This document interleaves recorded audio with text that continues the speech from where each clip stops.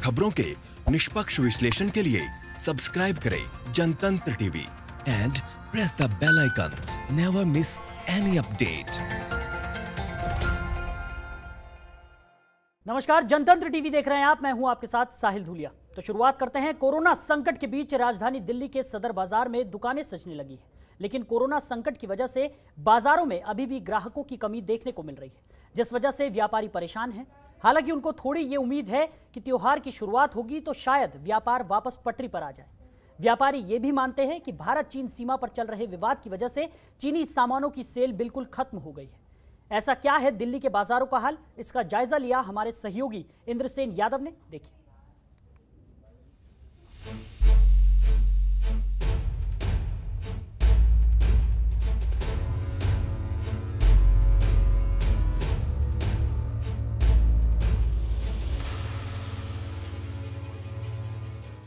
इस वक्त हम मौजूद हैं राजधानी दिल्ली की सबसे पुरानी मार्केट सदर बाज़ार में। और आप देख सकते हैं सदर बाज़ार में भीड़ भाड़ हल्की फुल्की देखने को मिल रही है।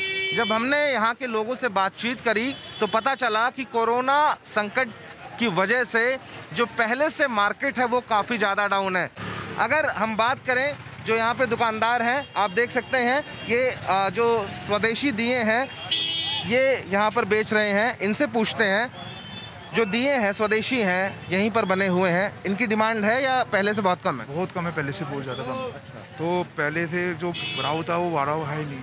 इक्का इक्का ग्राहक आता है बिल्कुल आप साफ़ तौर से देख सकते हैं कोरोना का जो इफ़ेक्ट है वो अभी भी बाज़ारों पर देखने को मिल रहा है। और साफ़ तौर पर आप ये दुकान देख सकते हैं। इस दुकान में जो कुछ भी आप देख रहे हैं सब कुछ इंडिया का बना हुआ है। लेकिन जो दुकान के मालिक हैं उनका साफ़ तौर से ये कहना है कि जो भी लोग यहाँ पर ख़रीदारी करने के लिए पहुँच रहे हैं, वो लोग पूछ रहे हैं कि आप जो सामान बेच रहे हैं, वो इंडिया का बना हुआ है या फिर चाइना का बना हुआ है। चलते हैं अंदर सीधा तंग गलियाँ सदर बाज़ार की और आप देख सकते हैं यहाँ पर कि भीड़ भाड़ बहुत है, लेकिन शायद मार्केट में काम नहीं है। हमारे साथ बातचीत करने के लिए भी बहुत सारे लोग यहाँ पर मौजूद हैं। अगर हम बात करें, मार्केट में कोरोना का जो असर है किस तरह से देखने को मिल रहा है? कोरोना का असर ही असर दिख रहा है जी। यहाँ तो ऐसा हो जाता है दोपहर के टाइम में जैसे कर्फ्यू लगा होता है। अब दिवाली को देखो आप सिर्फ़ 10 से 20 दिन रह गए हैं। लग ही नहीं रहा कि दिवाली आ रही है जो है। छाबड़ा जी अगर बात करें जब कोरोना नहीं था देश में तो हर साल दिवाली पर अगर यहाँ कोई आता था तो पैर रखने की जगह नहीं होती थी। अब जो आप लोग काम कर रहे हैं तो डिमांड किस तरीके की आ रही है मार्केट से? जो लोकल वेंडर्स हैं उनकी तरफ़ से किस तरह की डिमांड आ रही है? पहले से ज़्यादा है या पहले से बहुत कम है? बहुत ही कम आ रही है डिमांड जो है। मतलब डिमांड आएगी कहाँ से? लोग अब ध्यान जो है सारा कोरोना वायरस की तरफ़ लगा हुआ है। किसी का अभी ध्यान फेस्टिवल की तरफ़ तो है ही नहीं ना।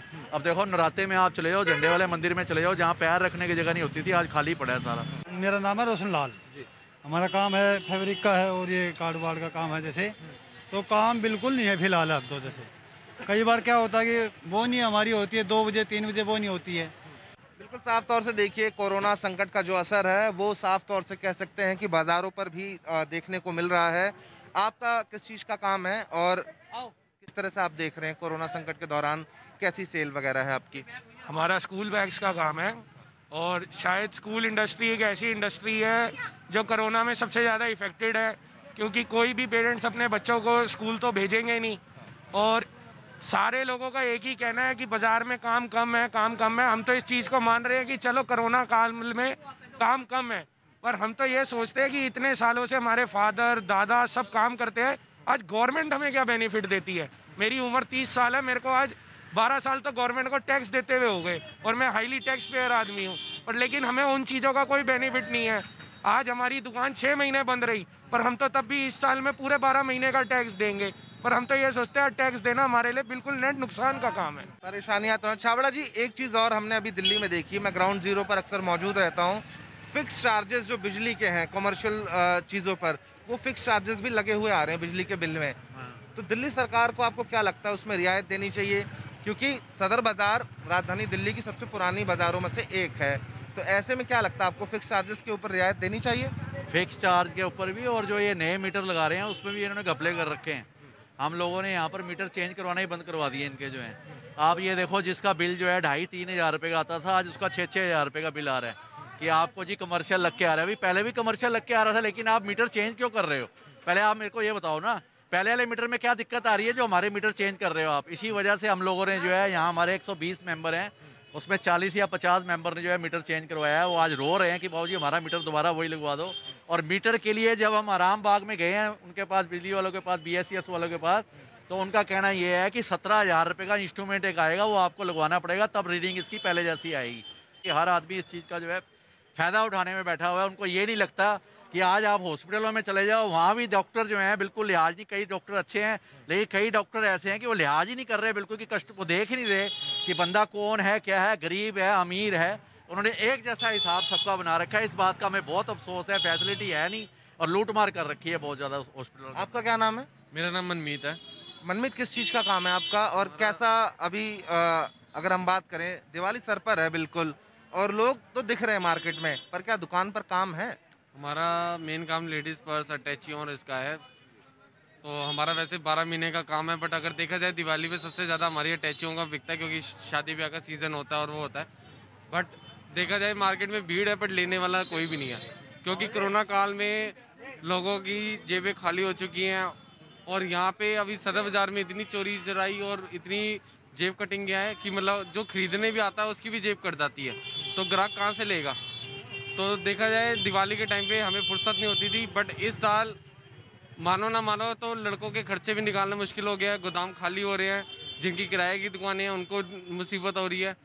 बिल्कुल, बहुत बड़ी बात है, जैसा कि मनमीत बता रहे हैं, और सबसे बड़ी बात यह है कि कोरोना संकट में अगर कोई सबसे ज़्यादा परेशान हुआ है तो वो व्यापारी और मध्यम वर्ग के लोग हैं।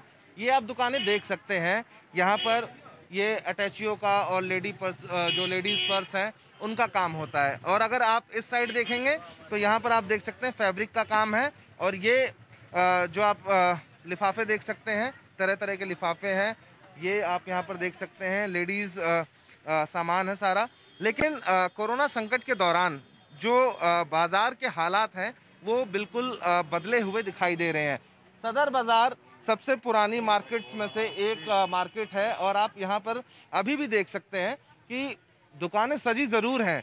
सामान लोगों ने डाला है लेकिन सामान जो है वो बिक बिल्कुल भी नहीं रहा है। और इधर भी आप देख सकते हैं ये आप देखिए दिवाली के लिए लाइटिंग्स यहाँ पर लगाई गई हैं। और सबसे बड़ी बात यह है कि सामान बिल्कुल भी दुकान से बिक नहीं रहा है। क्या नाम है आपका? साहिब। साहिल जी सेल है काम चल रहा है या नहीं चल रहा है? जो पिछली बारी का था इस हिसाब से काम नहीं चल रहा काम स्लो है अभी।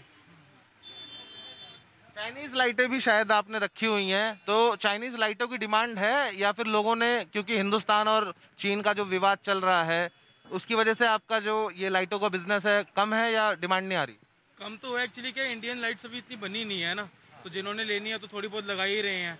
बाकी जो इतना पिछले साल का था क्राउड वो क्राउड नहीं है अभी। उस हिसाब से स्लो है मार्केट लोग आकर आपसे पूछते हैं कि ये चाइना की लाइट है या इंडिया की? पूछते हैं पहले बोलते हैं कि इंडियन लाइट्स आ रही हैं तो हम कहते हैं इंडियन लाइट्स ज़्यादा नहीं आ रही हैं फिर यही ले रहे हैं। चलिए देख सकते हैं आप चाइना की ये जो लाइटें रंग बिरंगी घर पर दिवाली पर आदमी लगाते हैं घर काफ़ी खूबसूरत लगता है लेकिन अब बड़ी बात यह है कि इन लाइट्स की जो डिमांड है वो भी कम हो गई है क्योंकि जिस तरह से आ, सीमा पर हिंदुस्तान और चाइना के बीच जो विवाद है वो लगातार बढ़ता जा रहा है और ऐसे में जो लोग भी अब यहाँ पर पहुँच रहे हैं तो साफ़ तौर से वो लोग पहले दुकानदार से ये पूछ रहे हैं कि जो ये लाइटें हैं, वो चाइना की हैं या फिर इंडिया की हैं तो ऐसे में इन लाइटों की जो सेल है, वो भी कम हो गई है। तो कुल मिलाकर जो बाज़ार पर एक बड़ा असर देखने को मिल रहा है और ऐसे में कह सकते हैं कि लोग भी बाज़ारों में कम निकल रहे हैं। सदर बाज़ार की जो मार्केट है आप देख सकते हैं भीड़ भाड़ थोड़ी बहुत ज़रूर देखने को मिल रही है। लेकिन अ, कह सकते हैं कि लोगों के पास कह सकते हैं कि कोरोना संकट और लॉकडाउन के बीच उनकी पॉकेट पर जो असर पड़ा है उससे कहीं ना कहीं लोग जो हैं एक बजट तय कर कर ही मार्केट में निकल रहे हैं। सपोज़ किसी का बजट अगर पिछली दिवाली की बात करें तो दस हज़ार था तो इस बार वो व्यक्ति दो से तीन हज़ार का ही बजट लेकर चल रहा है कि उसको इतने ही खर्च करने हैं कोरोना संकट में। हमारे साथ और भी लोग हैं। क्या नाम है आपका? जमशेद सिद्दीकी। आपका किस चीज़ का बिज़नेस है? इलेक्ट्रिकल अप्लाइंसेस का सप्लाई का काम है। जी। लेकिन कहाँ फ़र्क पड़ा है बाज़ार पर कोरोना संकट के दौरान? बहुत ज़्यादा फ़र्क पड़ा है बहुत ज़्यादा। काम नहीं है बिल्कुल भी। और ना ही कोई सप्लाई जा रही है ना कोई ऑर्डर हम पा रहे हैं।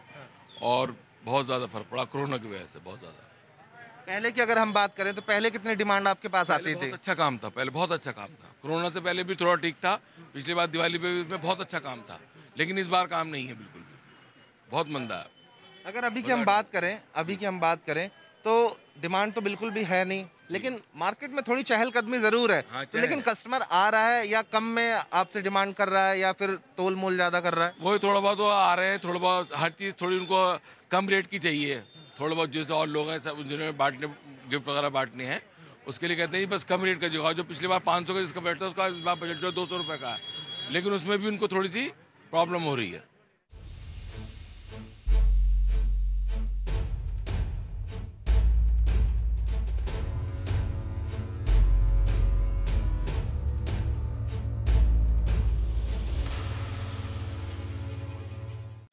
खबरों के निष्पक्ष विश्लेषण के लिए सब्सक्राइब करें Jantantra TV and press the bell icon never miss any update